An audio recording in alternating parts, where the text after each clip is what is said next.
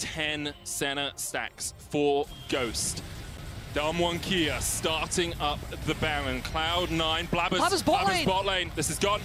there's gone. no there's no way you can steal it. Baron goes over to Damwon Kia. Blabber caught the bot lanes. Cloud9 obviously had decided they would not contest. Enchanted Crystal Arrow goes in, but the smite will secure it. Canyon gets it, and Damwon Kia get their Baron.